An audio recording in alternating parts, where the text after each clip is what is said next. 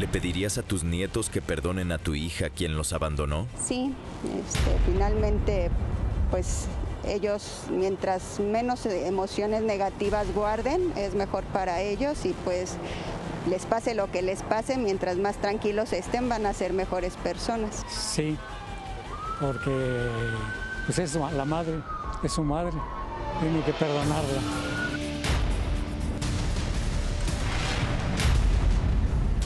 Mi hermana no perdona a mi madre, ese es nuestro tema. Y bueno, el tema que nos contó Viridiana acerca de su hermana Karen, quien pues no puede entender que su mamá toma una decisión, híjole, de totalmente carente de, de, sensibilidad, de amor, de inteligencia, de todo, María. Yo no sé qué, qué, fue lo que te pasó. Oye, ¿qué pasó con el papá de Viridiana y de Karen? Ellas son de diferente papá. ¿Y dónde están? Se fueron. Las dos, los dos. ¿Y tú siempre has tenido la necesidad o crees que un hombre eh, tiene que estar presente en tu vida sí o sí, aunque, aunque no sea un buen hombre, aunque no sea un buen compañero? Desgraciadamente antes no pensaba así, ahora, ahora me arrepiento todos los días de mi vida. No puedo vivir con todo esto que siento.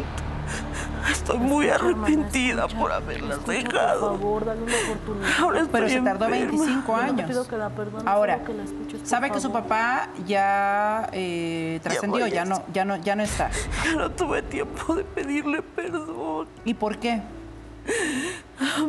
Por mi inmadurez. Hace cuando fui a buscarlas, él todavía vivía. Y me dijo que no me acercara, que no me quería volver a ver. Pero tampoco insistió usted. Después, tiempo después, yo cuando viví con esta persona, él me encerró y me golpeaba. Me humillaba. ¿Cuánto tiempo diez años, vivió ahí? Diez, años. ¿Y diez años aguantó? Porque él me encerraba. O sea, ¿no la dejaba salir a ningún lado? ¿Nunca trabajó usted? No. ¿Y cómo se liberó de él? Que fuimos a rentar a un cuarto en, por Nezahualcóyotl. Y él estaba construyendo un cuarto y dejó mal puesta una ventana y un día él se salió a trabajar. Y yo como pude con piedras y todo, quité la ventana y me brinqué. Y me fui lejos, me fui rumbo hacia Catepec. ¿Hace cuánto tiempo de esto? Hace más de bueno, ahorita ya tendría como cinco años, seis años que estoy trabajando. Pedí trabajo en un tiradero. Soy pepenadora, reciclo todo lo que es... Este, cartón y... y... ahí me escondí. Me escondí porque yo le tengo un favor. Ahorita no sé, no sé de esa persona, ni quiero saber. ¿Tiene miedo? Sí. ¿Y por qué no lo denuncia? Por miedo. Pero con miedo no va a hacer nada. O sea, el miedo no te conduce a ningún lado, ¿no, Mario? O sea, lo hemos visto en cuántos programas. 300. Y eh, como lo hemos platicado, es algo que sucede mucho. Eh, los casos de violencia en las familias y sobre todo de este grado de, machismo que estamos viendo, hay muchas mujeres que son víctimas del encierro. En este caso sería una privación de la libertad, así sería el delito, no es secuestro.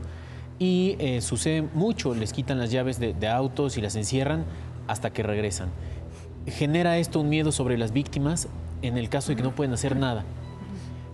En el momento en el que logran liberarse, lo que quieren es esconderse, pero lo correcto es denunciar, puesto que esta persona puede hacerlo con más mujeres y no sabemos si puede hacerlo con niños o personas con discapacidades. Es muy importante denunciar y puede hacerlo con el anonimato. Ok, escucha. Sí. ¿Y?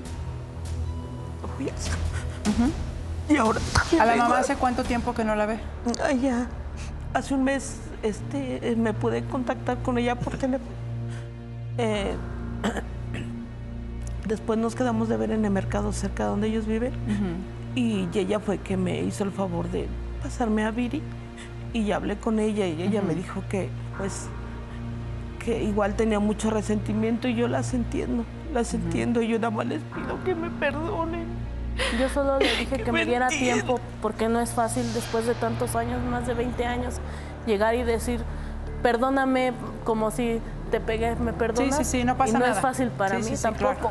pero Claro. tampoco soy nadie yo para juzgarla porque sea como sea es mi madre y pues por eso le pido a mi hermana que no guarde rencor y que pues al menos la escuche, no que la perdone, al menos que la escuche, que se dé el tiempo de escucharla.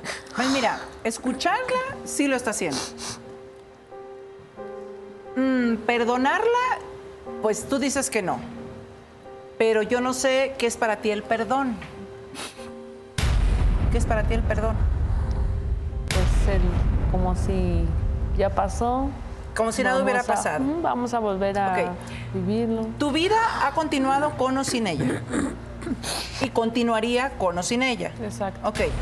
Es como si alguien te hubiera hecho algo muy fuerte y tú te lo trajeras cargando todo el tiempo. Todo el tiempo. No te dejara avanzar. Quieres ser feliz y de repente, uy, viene ese, ese recuerdo y dices, chin, o sea, qué, qué horror, qué feo lo que me hicieron. ¿Sí? Cuando tú perdonas, eso se libera. No es como por arte de magia, pero ya no te pesas, ya no te trae tanto al recuerdo. Cuando menos, o sea, ya no es tan fuerte, ¿correcto? No quiere decir que la vayas a seguir viendo. Ni que al rato se vayan de la mano a comprar unos plátanos, unos cacao, lo que sea. Es para ti el perdón, es lo que yo quiero que entiendas. Se lo estoy tratando de explicar de la manera más simple y coloquial que puedo encontrar. El perdón sirve para que tú puedas avanzar y educar también a tu hija. Porque si tú no te liberas de eso, tarde que temprano vas a agarrarla con tu hija o a rematerla con tu pareja o contigo misma. Y te vas a crear una enfermedad que de pronto no vas a saber ni por dónde viene. El pasado lo tienes que dejar ahí. Y lo que no se puede cambiar, pues ni modo. A veces nos tocan golpes muy fuertes. Y yo creo que la mejor forma de demostrarnos lo fuertes que podemos ser, lo evolucionado que podemos ser y lo, l- cuánto nos amamos, es levantarnos, limpiarnos las rodillitas y a lo mejor con raspones, pues seguir la vida. A veces nos toca así. Piénsalo, no te quiero convencer de nada. ¿Ya le pediste perdón a tu mamá? Ella ya me perdonó. Te perdonó. Y ella me dijo que iba a hablar con mis hijas para que me De hecho, mi abuelita es la que nos está pidiendo que, que la perdonemos, que le demos una oportunidad, porque dice, ella es mi hija y también, pues también le duele, ¿no? Porque dice, yo recuerdo su niñez de, de María y cómo era, o sea, era una niña muy tierna, no sé qué pasó. Y por eso yo le digo a mi hermana, todos cometemos errores. Pero hay de errores cometemos errores y te lo he dicho. Y yo le Y digo, este por mi abuelita, mi abuelita dice que ella no se quiere ir sin que nosotros perdonemos a nuestra madre. Y yo espero que no se vaya y que le falte mucho, pero a ver, pregunto. Para darle paz, no solamente a tu corazón, sino a tu abuelita, ¿podrías considerar el perdón? Déjame ir una recomendación rapidísima.